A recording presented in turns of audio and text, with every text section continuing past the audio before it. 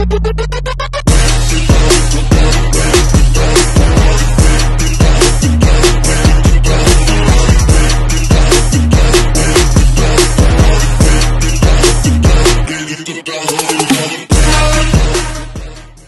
tardes.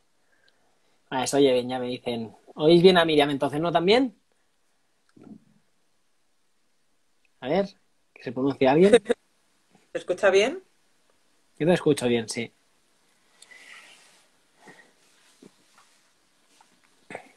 Vale, perfecto. Vale, yo supongo el tic que hemos tenido ahí, yo supongo que será de eso. Pues perfecto, Iván, gracias. Eh, gracias por confirmarlo. Eh, será interesante que pongáis las preguntas abajo, como siempre, ¿vale? Y se le se le ve bien también, perfecto.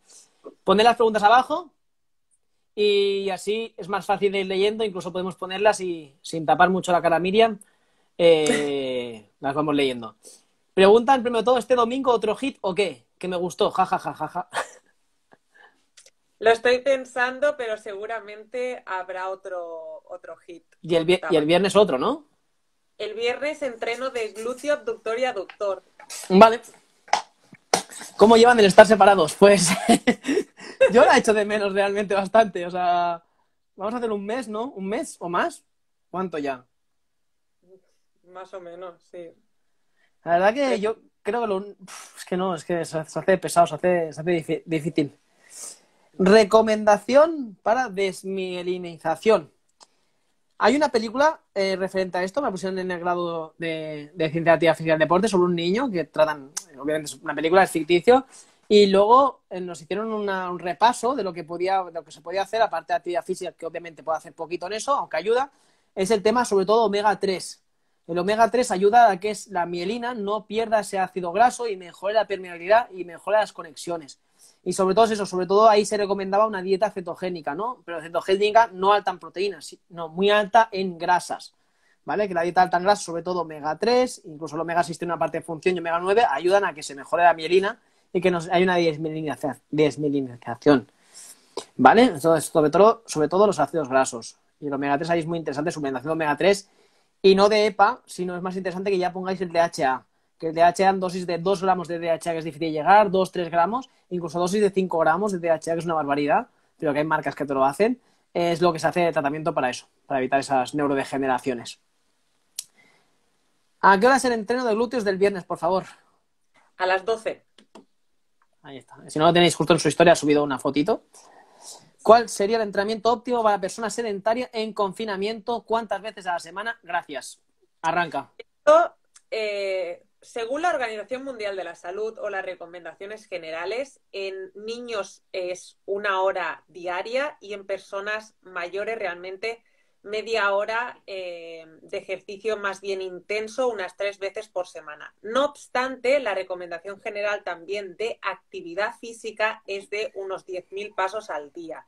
Ahora en confinamiento, que no estamos ejercitándonos ni llegando a esos pasos diarios, yo te diría que algo de actividad física al día deberías estar haciendo. Sí que es verdad que unos 3, 4 días podrías hacer una actividad más intensa, pero a diario una actividad más liviana que nos haga un poco movernos. Eso puede ser un entrenamiento de media horita, eh, haciendo ejercicio en casa o una rutinita en plan de sin- incluso sin material, con haciendo los, lo- los fondos en el sofá, haciendo abdominales con una esterilla o con una manta vieja que te la pasa abajo para hacerte daño. O sea Pero que- realmente la, la recomendación ahora en el confinamiento sería cada día, porque no nos estamos moviendo. Correctísimo. Ah, mira, justamente. Miriam, la clase del viernes, ¿qué tal va para alguien que ha sufrido de lusa, sufrió lusa con de cadera?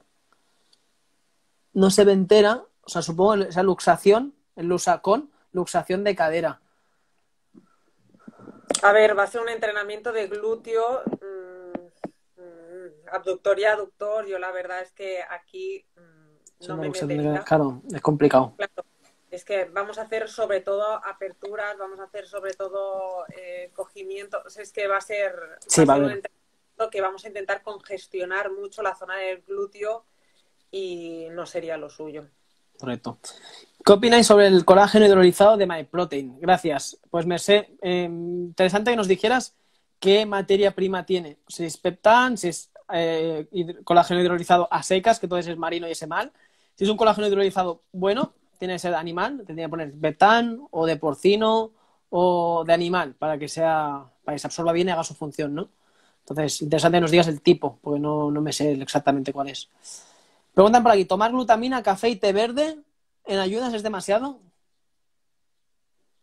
Glutamina, té verde y qué más? Y, té verde y café. A ver, el té verde y el café son los dos estimulantes, entonces a lo mejor el café lo tomaría en otro momento. Eh, el Alex te dirá que a partir de las 12 es cuando tienes que tomar estimulantes por el cortisol, pero eh, realmente yo me tomaría el café por la mañana y a lo mejor el té verde por la tarde o más bien al mediodía. Claro, tomarlo en ayunas con el, la glutamina te va a mejorar el pH y metes dos acidificantes como el té y el café. Sí, realmente metería la glutamina en ayunas, desayunaría y después me tomaría el café. Correcto. Eh, aquí nos preguntan San Blusem, eh, ¿podéis contar un día deseable para vosotros? Eh, explicándonos en qué es deseable, o sea, actividad, de comida especificanos un poco, si no nos podemos hablar un poquito, ¿vale? Y así te... Alguien que sufrió, vale, eh, sufrió luxación de cadera hace ocho meses, perdón, que el móvil es, vale, o sea, es luxación hace ocho meses. Si ya está recuperado, como decía Miriam, si está recuperado no te da problemas, obviamente, adelante, sin forzar. Y Miriam va adaptando muchos ejercicios, va diciendo alternativas más fáciles, pero... pero... También es que yo haré el entrenamiento con gomas y con peso. Si tuviste esta luxación y aún tienes ciertas molestias, puedes hacer perfectamente el entrenamiento sin gomas y sin peso y también llegando a un rango de movimiento en el que no sientas molestias. Si yo bajo una sentadilla completa, tú, hasta, tú hazla hasta medio recorrido, si te pones una silla detrás también te irá mejor para no hacer este movimiento completo y ya está. Mira, ¿qué cantidad de hidratos diarias más o menos recomendarías en mujeres para esta cuarentena? Supongo que estas preguntas son como las del millón, ¿no? O sea, sin conocer lo que pesas, no te podemos decir los hidratos. O sea, no podemos decir, si podemos decir, ¿qué podemos decir? Uno, un gramo, 1,5, 2, pero es claro, depende del peso. Es que no solo depende, o sea, depende, de pero actividad. estemos en cuarentena, sino que hay personas que a pesar de estar en cuarentena, siguen ejercitándose, siguen haciendo ejercicio físico y no tienen por qué estar paradas ni reducir su ingesta de hidratos de carbono. Sí que es verdad que la ingesta de calorías sí que puede verse un poco modificada en esta cuarentena y bajarla un poquito porque hay gente que sí que ha reducido su nivel de actividad física. Ahora bien, en hidratos de carbono, si sigues entrenando y aparte estás confinado y puedes entrenar a diario cuando antes no, a lo mejor no haría falta reducir los hidratos de carbono. En personas sedentarias, en población general, eh, las recomendaciones es que sí, que ahora se priorice mucho más eh, la cantidad de verdura que añades a la dieta también que añadas un poquito más de proteína para mantenerte saciado y que reduzcas un poquito los hidratos de carbono. Esto no significa quitarlos de tu dieta. Ahora bien, el tanto por ciento no lo sé, porque no sé tu caso en particular, no sé cuánto te estás ejercitando, cuando, como ha dicho Alex. ¿Qué masa muscular tiene? Eh, ¿Qué tal te sientan los hidratos de carbono? ¿En qué fase menstrual estás? Eh, hay tantas variables que, se tiene que jugar con muchas cosas. Totalmente de acuerdo. Después de un ayuno de 16 horas y habiendo entrenado una hora full body, ¿qué comida podría hacer? Pues yo creo que es algo, haciendo un ayuno y un entrenamiento full body, si el full body es intenso, vas a estar cogiendo más proteína y degradando más proteína de la que interesa. Eso para, para empezar, si es un entrenamiento intenso. A menos que la cena te hayas metido una cena del copón, lo cual habrá influido en tu calidad de sueño, con lo cual no habrás descansado igual. Pero yendo a eso, te recomendaría que obviamente después de la hora de full body algo muy rápido, rápido como siempre decimos, amilopectina, ciclodestrina y proteína, mezcla de dos, mínimo. Y obviamente ahí lo acompañaré con un poquito de grasas y a la media hora, una hora, cuando ya has absorbido ese batido, meter una comida contundente con los tres macronutrientes, con grasa, proteína, hidratos y un, plato, y un plato contundente. ¿Vale? Entonces, para primero llegar, de todo, llegar en esas ocho horas a las calorías deseadas y para favorecer la recuperación. ¿No? ¿Qué opinas? Yo aquí diría, a ver, es que si tu siguiente comida mm, cae, yo que sé, al mediodía, yo directamente pasaría a la comida. Eh, también es verdad que en esa comida no metería grasas, metería hidratos eh, de fácil digestión, como ha dicho Alex, una proteína eh, completa. no metería grasas porque seguramente en ese momento no te sienten bien y sí que es verdad que el entrenamiento que debería haber sido full body no puede ser de gran intensidad por lo que decimos, por mucho que tú te hayas metido una cena contundente, después del ayuno, eh, durante esas horas en las que se estás ayunando, estás eh, obteniendo energía de las reservas de glucógeno muscular y hepático que tienes. Una vez se gastan y tú vas a entrenar y los primeros minutos o em, media hora del entrenamiento a lo mejor gastas estas reservas, estarás tirando de grasas, pero también de, aminoácidos esenciales, ¿no?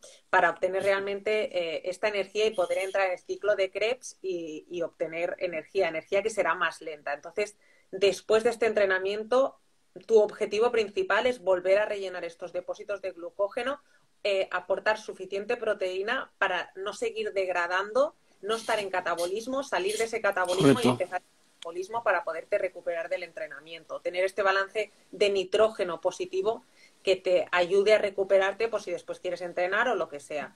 Entonces, eh, aquí yo metería es eso, hidrato y proteína. Si tu comida em, coincide con la comida del mediodía y quieres hacerla, pues por, por, hábito, una comida completa, también metería fuentes vegetales, pero en este caso sí que no metería a lo mejor mucha fibra, por lo tanto mucho crudo. Eh, metería algo más de fácil digestión, una verdura más hervida, eh, un aceite de oliva virgen extra, obviamente eh, pero no, a lo mejor no metería frutos secos, ni aguacate, ni muchas grasas, porque te va a enlentecer la digestión, en caso número uno, y vienes de un ayuno muy prolongado.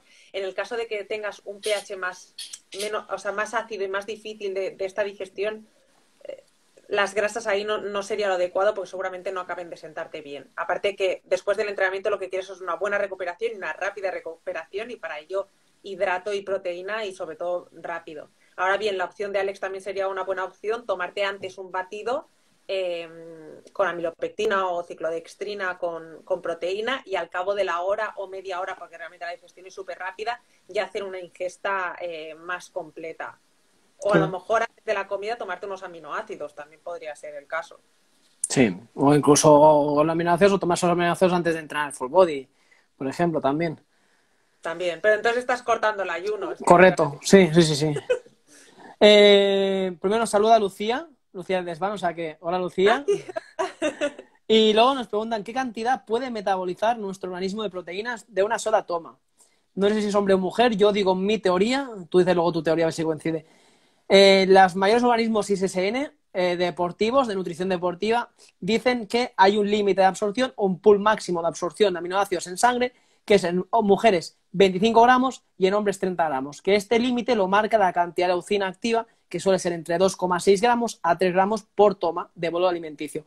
Sí que se ha visto que en culturistas o deportistas de alto rendimiento, el cual tiene un requerimiento de masa muscular muy bestia, se ven ampliados esos requerimientos proteicos. Pero para personas medias no fuera de series, podríamos ir de esos 25 a esos 30 gramos de proteína neta por comida, que más proteína no te va a hacer daño ni en el riñón, ni en el hígado, ni nada, simplemente se va a desechar a través de la, orina, ¿vale? Y van a hacer otras funciones, como puede ser crear, bueno, diferentes tipos de macronutrientes o dar otras funciones energéticas, ya no la propia función de la proteína como sería estructural.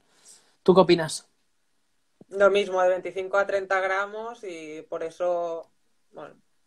Por eso puede ir un poco a pie del tema del ayuno. El ayuno, en personas que tienen un requerimiento calórico muy bajo, no hay problema. En personas que a lo mejor se tengan que meter una comida 2.000 calorías y 60 gramos de proteína, mm, sí, llegarás a los macros del cabo del día, pero créeme que no va a ser lo mismo que la persona que haga una ingesta cada tres horas, por ejemplo, y haga las 5 o 6 ingestas que recomiendo, no yo, sino recomienda la ISSNX. Y hablamos del mejor organismo de nutrición deportiva a nivel mundial. Ningún gurú ni nadie. Los mejores investigadores y entrenadores de, a nivel estadounidense y mundial. Em, amigos, amigos, antojos de síndromes premenstruales en confinamiento. Os veo montada en la bici de la terraza muy bien, Luinac. eh, antojos del síndrome premenstrual. Justamente esto, eh, ayer lo tocaba a una compañera. Yo creo que esos días que tienes la menstruación, obviamente sí que tienes que tener en cuenta que vas a tener más ansiedad, vas a tener más apetito por sobre todo azúcares o grasas. Entonces, lo que recomiendo normalmente y suelo aplicar es que disminuyamos un poco los hidratos de carbono en esas comidas. No hacer lo mismo. Cuando decimos disminuir, no es quitar. Y aumentemos las grasas y el aporte de fibra. Si yo estoy dando 100 gramos de arroz, pues voy a priorizar a lo mejor en subir, en vez de 100 gramos de arroz, bajar un poquito a 80 o 70 y subir la fibra en aporte de verdura a forma libre o 200, 300 gramos de ensalada o verdura variada que le va a saciar, le va a mantener saciada y meto grasas. Acompaño con frutos secos, acompaño con, alimentos saciantes, con un poder saciante, que ya recordemos que es la fibra, la grasa y la proteína. Y eso es lo que normalmente yo suelo hacer, aparte de trabajar el tema de ansiedad. ¿Tú cómo lo haces? Eh, yo voy a explicar que en esta fase, o sea, la fase lútea, que es justo previo a que te venga la menstruación, tenemos un descenso de los estrógenos. Y es por eso que eh, aumenta nuestra resistencia a la insulina y por eso tenemos más apetito sobre todo por los carbohidratos, ¿vale? Es a nivel hormonal que nuestro cuerpo nos está pidiendo más carbohidratos en ese momento. Aparte, también nos disminuye la serotonina y por eso nuestro estado de ánimo es mucho más bajo y estamos más susceptibles, ¿vale? Entonces, si se nos juntan esas dos cosas, explosión. Entonces, en este estado, una buena forma de... Em, saciarnos es aumentar nuestra ingesta de proteína, aumentar nuestra ingesta también de fibra para que aumente nuestro bolo alimenticio a nivel de estómago y nos sintamos más saciadas. También el ejercicio físico va a hacer que nos animemos y nos sintamos mejor en ese, en ese momento, pero es algo totalmente normal tener más antojos. En esos, en esos momentos o en cualquier mm, fase del ciclo en el que estamos las mujeres, es muy importante que nos escuchemos, es que nuestro cuerpo nos está hablando. Entonces, en esa fase, em, yo lo mismo que has dicho tú, aumentaría las grasas y sobre todo la proteína y la fibra para mantenernos más saciadas, disminuir em, esta insulina que ya va a estar elevada de por sí por esta disminución de los estrógenos y así sentirnos un poco más saciadas y no tener tantos antojos. Correcto. Eh, preguntan, eh, un omega 3 recomendable, por ejemplo, de Procis, gracias.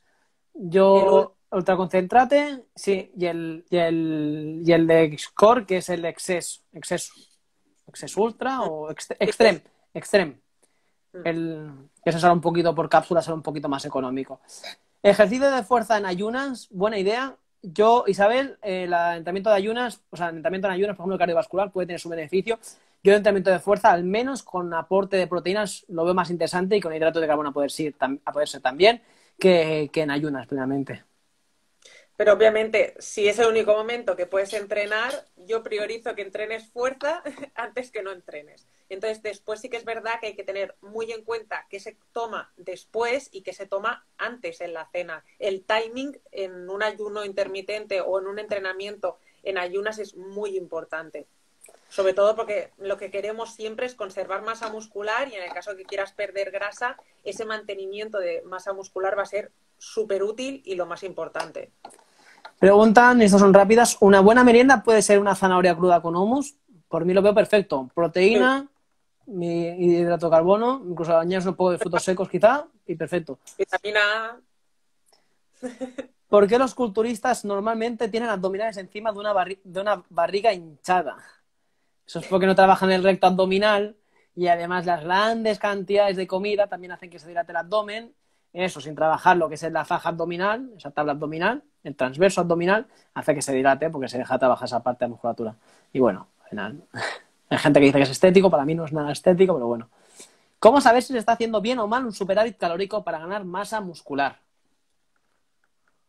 Pues a nivel de medidas, eh, sobre todo te va a decir el progreso que estás haciendo, ¿no? A mí me gusta cuando eh, pautó un superávit calórico y está una persona en volumen, intentar mantener lo máximo posible las medidas, sobre todo de cintura, e intentar subir eh, el resto de medidas mientras mantenemos esa cintura cadera. es normal subir de grasa, pero todo tiene que ser paulatino, ¿no? Tenemos que ir subiendo y aumentando poco a poco siempre y cuando notemos que nuestro rendimiento también estamos subiendo y nos sintamos también más fuertes eh, en el gimnasio y levantando cada vez más peso. Totalmente. ¿Recomendaréis el palmeto y aceite de para hirsutismo, acné y amenorrea? Yo para hirsutismo, o sea, hirsutismo supongo que también viene relacionado con acné, obviamente. Eh, ahí es un exceso androgénico normalmente. Sao palmeto puede tener su beneficio.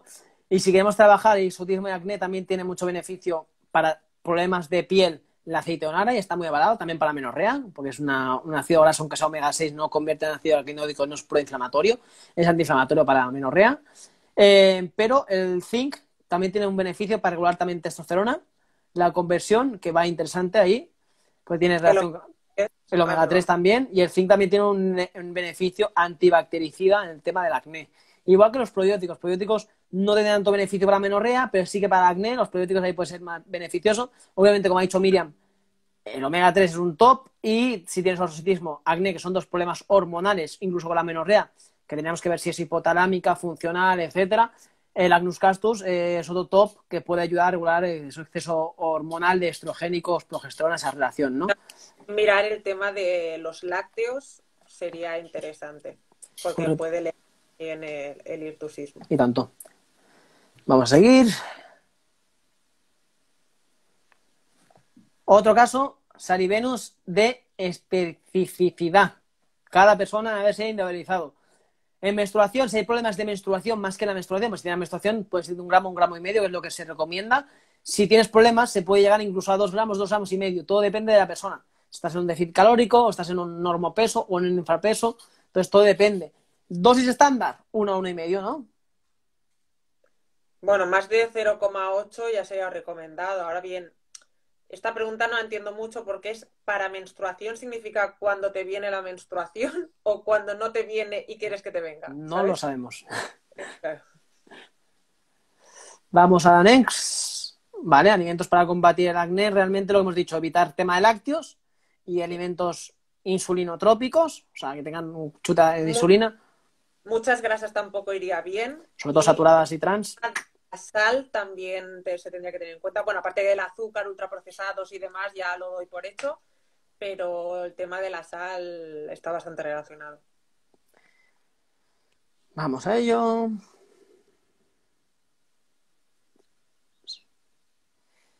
Interesante, pues suplementos para mejorar la psoriasis en gota.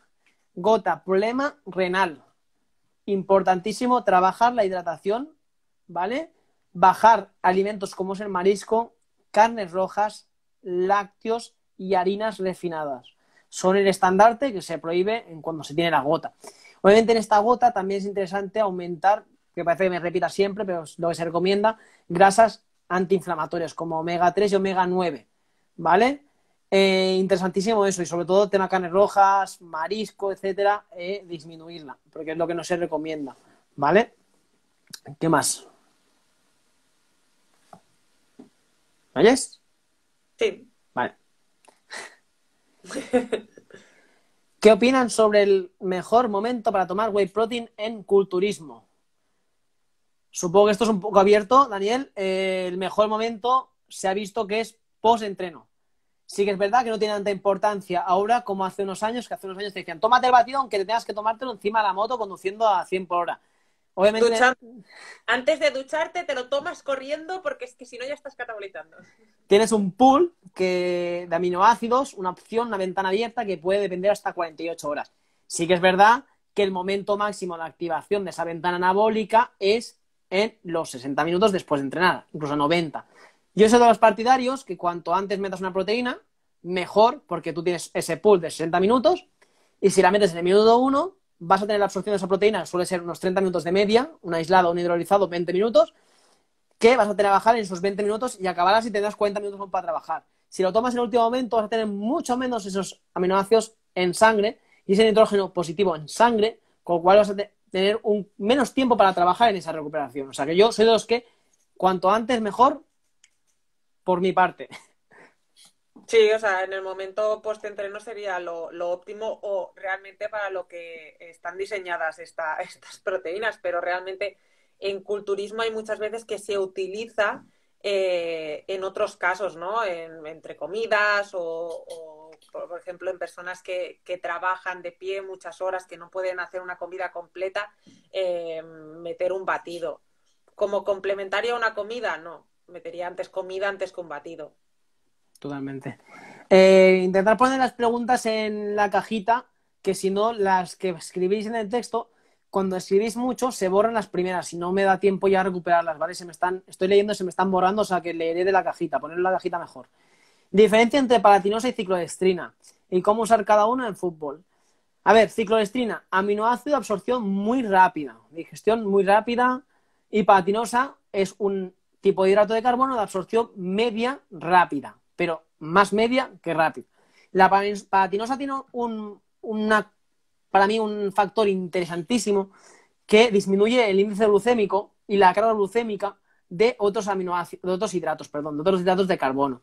Cicloestina tiene el problema ese, que es un hidrato de absorción muy rápida que puede dar una hiperglucemia y seguidamente da hipoglucemia. Y hay que tener cuidado cómo se toma la cicloestina, porque veréis mucho en el gimnasio, sobre todo gente profesional culturista, que toman ese cicloestina y luego después de entrenar se sientan y no son capaces de levantarse de la bajada fuera de la pegada de cicloestina. Porque tenemos que entender que un aminoácido cuanto más da el pico en sangre de, glucosa, más rápido es la bajada esa. Y aparte es un índice glucémico bastante alto. Entonces la palatinosa es una buena combinación tomar 20 gramos, 40 del otro, 40 cicloestina, 20 de palatinosa para mejorar un poco la carga, glucémica, la digestión y no te des esa hipoglucemia, evitar esa hipoglucemia.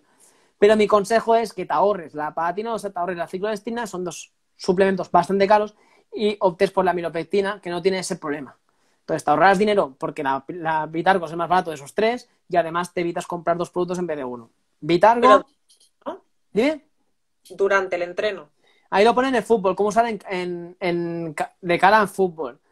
Supongo que si es para el partido, yo normalmente en medio del, partido, en el descanso, agua de coco, amilopectina, batidito, 60 gramos para adentro y intentamos recuperar lo máximo posible. Si ves que tienes un déficit de magnesio y te rampas mucho, pues mete un poquito de electrolitos, que muchos bitargos ya llevan el tema de electrolitos.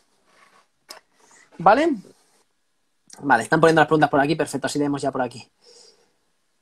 ¿Cómo veis tomar, tomar tratamiento herbáceo para SIBO? ¿Opinas tú o opino yo? pues perfecto, yo me lo traté así. No me hizo falta tomarme antibiótico. Sí que es verdad que estás mucho más tiempo eh, tomándote este antibiótico y este tipo de tratamiento. No obstante, em, para mí fue efectivo y junto con una dieta libre de food maps, obviamente, durante bastante tiempo conseguí erradicar el, el SIBO y tratarlo bien. Eso es importante también que analicemos el tipo de SIBO que hay. Si es proteolítico, metanogénico, etcétera. Hay diferentes tipos de SIBO, no todo es el mismo tipo de SIBO. Un sobrecrecimiento de unas bacterias, a veces son de unas o son de otras.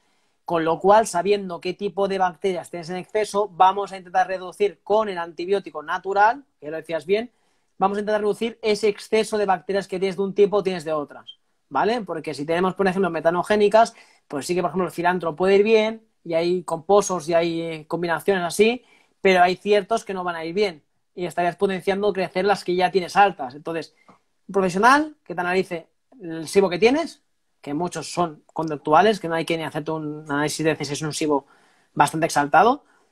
Cuatro preguntitas, sabes más o menos por dónde va y ahí tratas, pero sobre todo un profesional, ¿vale? Porque tienes que hacer una dieta libre de FUMAPS, acompañarlo con eso, es más lento, pero tienes menos efectos secundarios. Y también hay que tener en cuenta que durante este tratamiento em, te vas a notar más cansado, em, el rendimiento seguramente será peor y tiene otros efectos así como secundarios. Correcto. Preguntan por aquí, ¿tomar antioxidantes como té verde puede impedir la oxidación de grasas durante el entrenamiento? Un té verde como, como infusión no te va a afectar para nada. Si lo das con altas dosis y en cápsula, sí que es verdad que no vas a impedir la oxidación de grasas, vas a impedir las adaptaciones de tu entrenamiento. Esas adaptaciones de tu entrenamiento se dice, vas a perder menos grasa, vas a adaptar menos tu masa muscular, tus músculos van a realizar menos esfuerzo y vas a poder sobrecompensar ese esfuerzo recuperando la masa muscular, tu entrenamiento se va a ver mermado, ¿vale? Pero tenemos que dar dosis de, antioxidantes elevadas. Esta es la misma. Interesantísimo, suplementos para evitar y reducir migrañas. Yo estoy con una hoy que flipas. Arranca tú, luego, luego la arranco yo. Pues el magnesio, sobre todo, pero también hay que tener en cuenta tener una buena hidratación porque a veces es lo que nos falla y nos da, y nos da estas migrañas. Pero está bastante relacionado también tema de contracturas a nivel cervical em, con migrañas y eh, el déficit de magnesio también provocaría estas migrañas. Correctísimo. Y la hidratación es importante recalcar que hidratar con agua de mineralización muy débil, no va a ayudar. Si necesitamos hidratarnos es por los minerales también. Entonces, hidratemos con calidad, ¿vale? Por así decirlo. Luego, como ha dicho ella, el magnesio es la clave, las contracturas es la clave, la hidratación es la, clave. Y según un estudio de Oxford, hay otros dos suplementos que también tienen bastante relación, que es la vitamina B2, ¿vale? Eh, y la enzima Q10. Cuando hay una baja producción de enzima Q10, es normal que hayan esos dolores de cabeza y esas migrañas, ¿vale? Entonces, magnesio, hidratación, Muy bien. Y Q10 y vitamina B2, B3, ¿vale? Volvemos a leer. Muy bien, estoy dejando otras preguntas de nuevo, perfecto. Yogur natural pasteurizado tiene probióticos muy buena. Sí que tiene probióticos porque se pasteuriza y luego se añaden los probióticos. Por eso te lo pone. Si no lleva los probióticos, o sea, si no se identifican los probióticos, sería la leche desnatada y la sal. O sin sal. Pero si se añaden los probióticos es porque se ha hecho tratamiento de la leche, la leche y luego se añaden los probióticos. Es interesante eso. Es un fermentado y tiene. añaden sí o sí. Correcto. Una persona que ingiere 156 gramos de proteína al día podría ingerirla en cuatro ingestas 150, 30, 30, 30, 30, 30.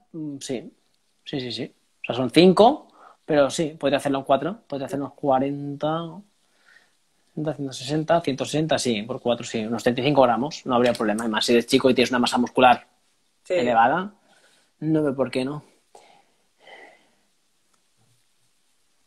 Vale, aquí hablan de la dieta escandinava, sobre la descarga de hidratos tres días versus un día de carga de hidratos en definición. Ah, bueno, no es dieta escandinava, es dieta simplemente de para hacer un poco. Es carga y carga. Sí. Bueno. ¿Qué objetivo? Si es, por ejemplo, una prueba eh, en un maratón, por ejemplo, eh, si está entrenado antes para hacer este tipo de, de, descarga de hidratos, para después hacer una buena carga, porque piensa que estás dejando al cuerpo muy receptivo, estás vaciando todos estos depósitos de glucógeno y después los estás intentando rellenar y el cuerpo está muy receptivo. Entonces, es un buen método si lo entrenas antes de esta prueba eh, para hacer eh, pues, tipo de pruebas de resistencia.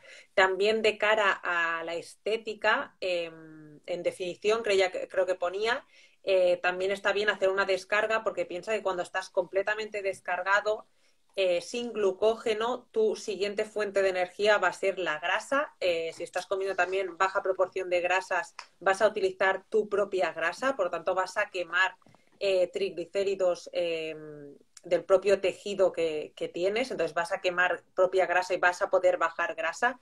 Ahora bien, no puedes mantener este estado durante muchos días eh, porque acabarás quemando masa muscular, que como hemos comentado anteriormente, es lo más importante que tienes.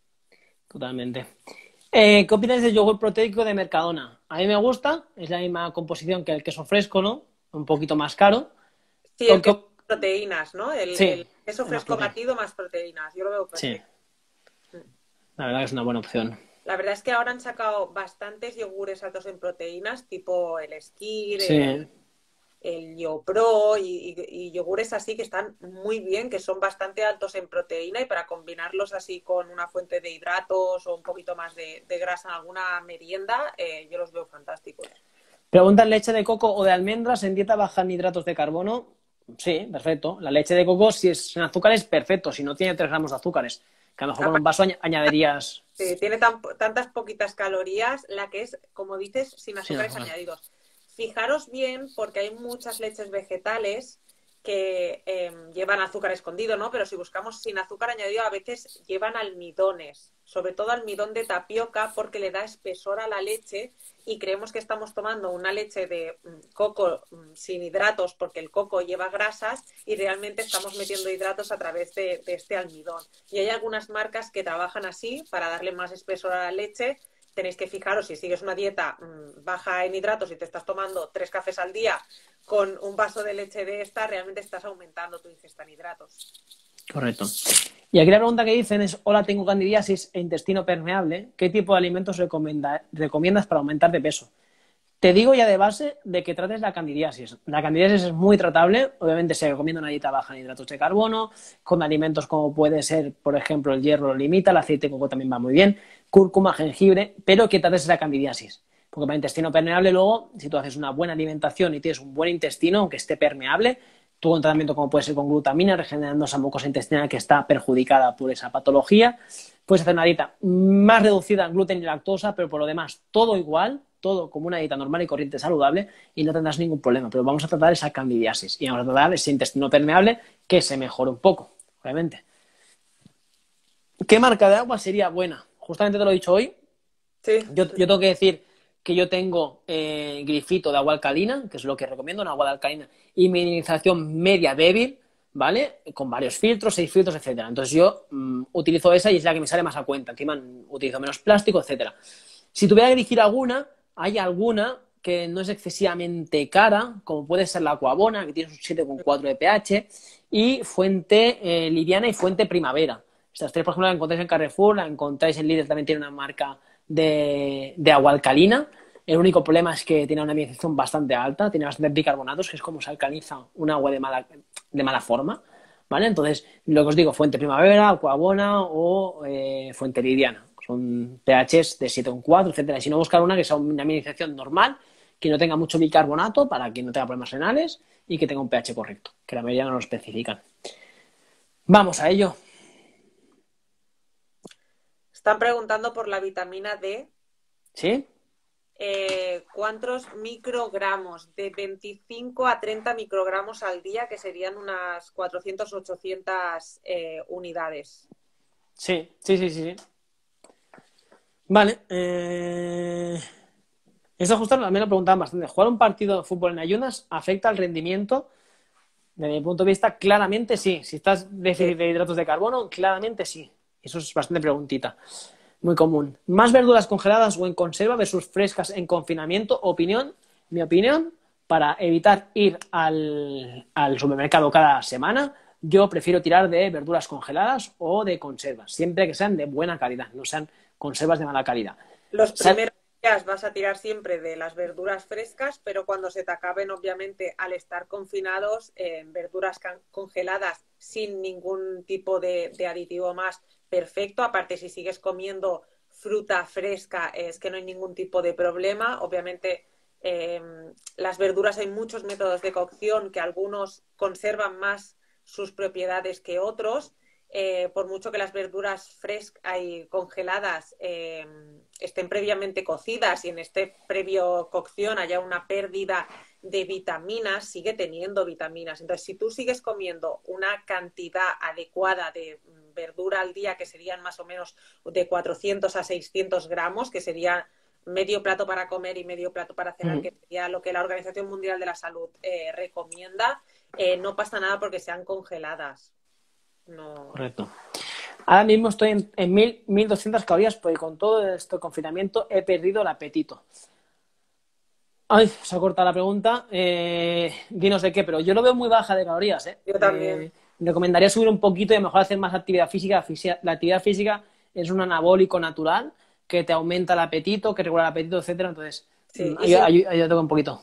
Si realmente no tiene apetito y por eso es, eh, está consumiendo menos calorías, no por esto, enriquecer tus platos, pues por ejemplo, en, en purés de verdura añadirle un chorro de aceite de oliva, meter mm, queso rallado en las preparaciones para que tú no te des cuenta que estás comiendo más cantidad, pero estás metiendo más calorías. O un licuado de frutas o verduras.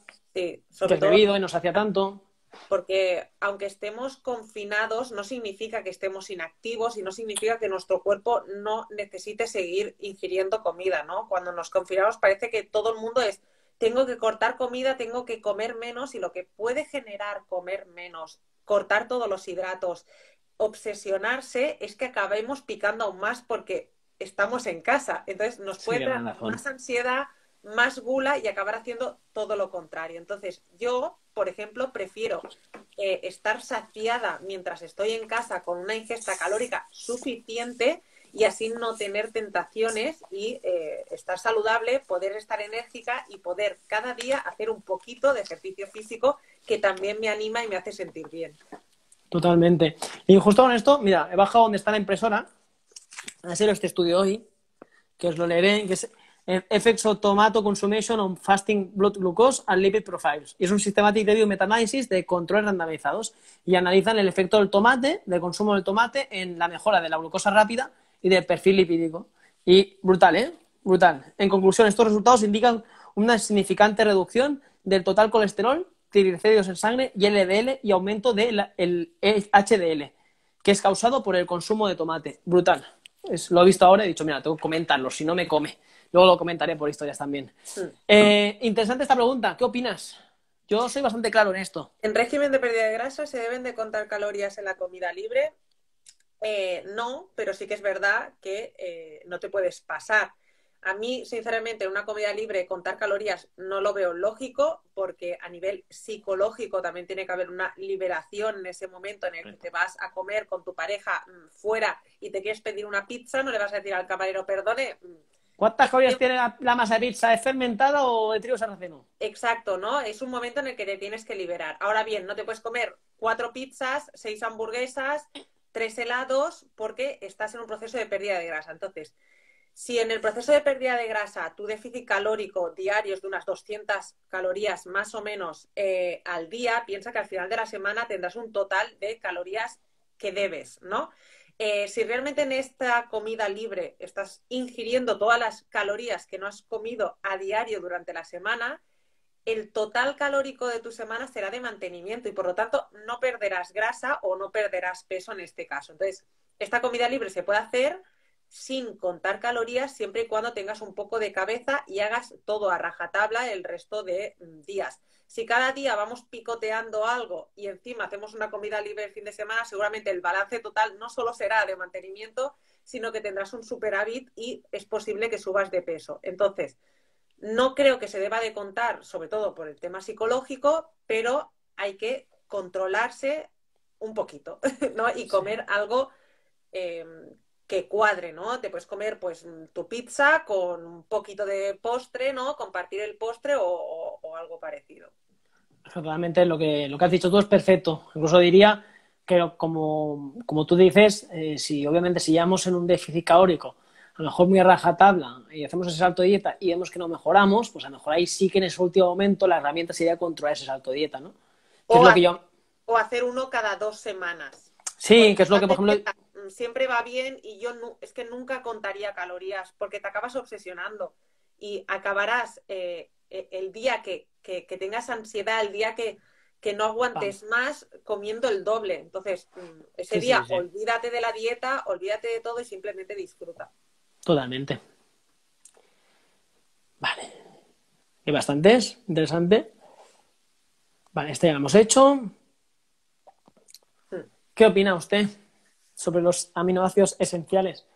Pues me parece una opción muy buena siempre y cuando se complemente después con una ingesta de proteína con todos los aminoácidos, em, con los 20, eh, por tanto una comida completa. En chica, por nuestras eh, fibras musculares, nos vienen mejor los aminoácidos esenciales antes que los BCAAs eh, en chico pues pondría unos BCAs y en qué momento tomarlos. Yo los tomaría después de un entrenamiento, eh, antes de esta ingesta eh, completa de proteína, que puede ser un batido, puede ser una comida directamente, o personas también que entrenen en ayunas porque es su última opción, pero que su objetivo no es hacer un ayuno intermitente, sino simplemente que es el único mm. momento en el día que tienen para entrenar, podría ser también una opción para no perder masa muscular y en el caso de estar degradando grasa, en estar en un déficit calórico, imagínate una persona en déficit calórico que entrena en ayunas,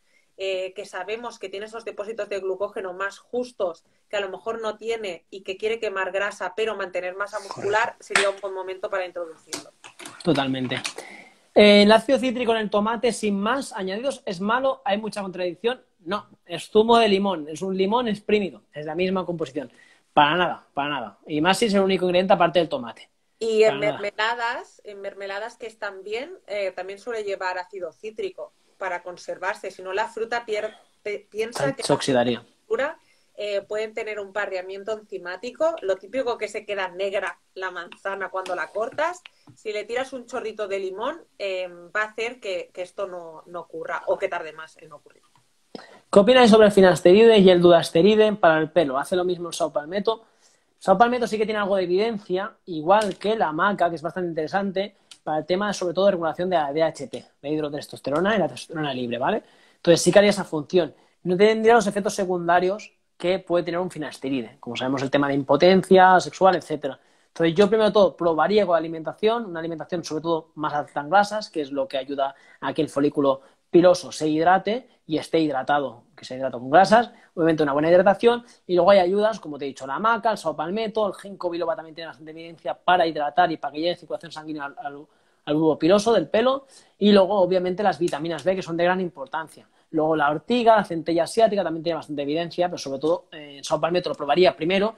Obviamente no es tan potente como un minoxidil o un finasteride, pero hace la misma función en ese sentido en de regulación de la testosterona libre. Si es una calvicie, o sea, una calvicie por areata por, por exceso de hormonas androgénicas. ¿eh? Si es una calvicie eh, totalmente de otro tipo, eh, ya no, el salpalmetro ya no tiene tanto, tanto beneficio. Vamos a la next. Eh, Arráncale. ¿Eritritol como edulcorante es natural? Natural sí que es. Es un extracto de una El planta. eritritol, Pero igual que el, que el xilitol, realmente son derivados del azúcar, pero son polialcoholes. Eh, estos polialcoholes en exceso te pueden hacer laxar o te pueden hacer eh, tener mm, cierta sintomatología a nivel intestinal que no te va a gustar mucho, como puede ser distensión abdominal, gases y demás. Entonces, como edulcorante de uso diario, yo no lo recomiendo. Eh, ahora bien, tenéis que fijaros porque muchas stevias vienen, es realmente eritritol con un poquito de, de stevia y tenéis que fijaros bien en la Stevia. composición y en los ingredientes. Eh, pero sí que es verdad que para recetas puntuales es un edulcorante que endulza muy parecido al azúcar, porque es un derivado del azúcar.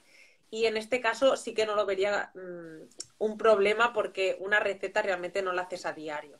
Eh, para diario, obviamente, pues preferiría una stevia o hasta una sucralosa, que en exceso también es mala a nivel de microbiota y puede crear hasta una disbiosis en grandes cantidades, eh, pero el eritritol, igual que otros polialcoholes, como puede ser el maltitol, eh, suelen sentar bastante mal. Totalmente. Vamos a leer una tanda rápida y vamos contestando. Vale. ¿Qué café soluble recomendáis? Yo colgué hace tiempo uno del el Volario Navarro, que, no, es- está que está muy bien. muy bien, 100%, ecológico, no es torrefacto, está bien. Fenoreco como adaptógeno, muy interesante para regular la testosterona en hombres cuando está baja, también es interesante. También tiene una parte adaptógena de reducción de cortisol, aunque no es muy significativa, pero sobre todo para regular las hormonas masculinas, eh, cuando hay en exceso las, las femeninas, tiene su interés. Eh, me operaron hace un mes del menisco, tengo mucho desgaste y estoy con la menopausia. Gracias. Supongo que aquí dice suplementación, vamos a ir a lo rápido, porque si no, otro es bastante largo. Tenéis igualmente un vídeo sobre consejos de menopausias que hice en, YouTube, pero realmente aumentaría hidratación, aportaría maca, que maca es un regulador hormonal muy interesante. Si la maca viene a tanta función, en algunos casos también puede ser interesante, o isoflavonas de soja. Y si tienes mucho, Calcio, vitamina D, mucho desgaste, pues obviamente si hay dolor, eh, cúrcuma, jengibre, pues vería serrata, yo creo que pueden ser los, los- los mejores, ¿no? Eh, vamos a seguir leyendo. Vamos a hacer cinco más si podemos y cortamos para aplaudir.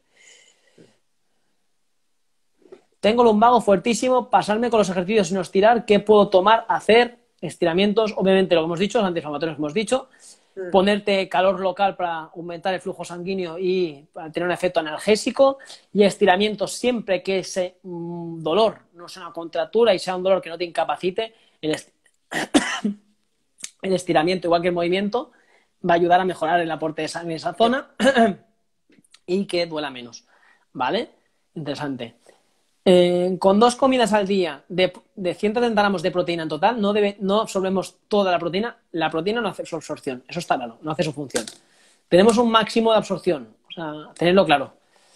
Hace el sulfamo y sucralosa rompen el ayuno. Sí que se ha visto que los edulcorantes pueden tener un pequeña, un pequeño pico insulínico. pero que al ser hipocalórico no llega a romper la insulina, entonces depende de la persona, la sensibilidad de esa persona a esa insulina.